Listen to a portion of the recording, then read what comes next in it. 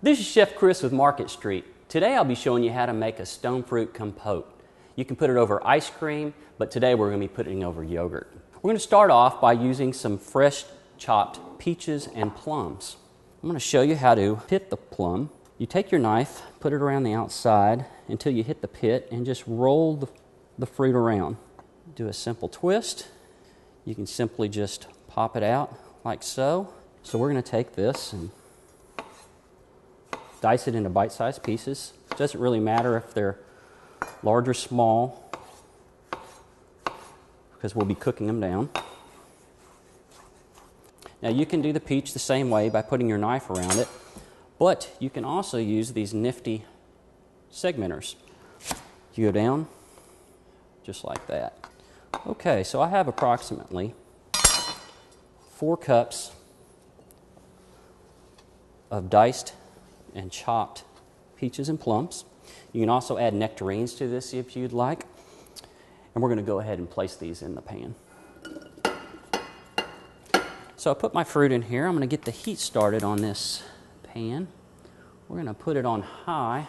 Okay, I'm going to add the water, about a cup. We're going to add honey, add some sugar. This is about three to four tablespoons of each honey and sugar. I'm going to add one cinnamon stick. And I'm just going to go around the outside of this and put a little citrus flavor in there as well. Finish off with a little bit of kosher salt, and we're going to bring this to a boil. Now this has come to a boil, I'm going to turn this down to a simmer, and we're going to simmer it for about 30 minutes until the uh, liquid gets a nice syrupy consistency. Okay, I already have some done here, and uh, works well in these handy jars with the removable lids. Uh, these are fresh. I did not can these, but you could can them and preserve them if you'd like. Um, I'm just uh, put these straight in the jar, and you can keep them in the refrigerator.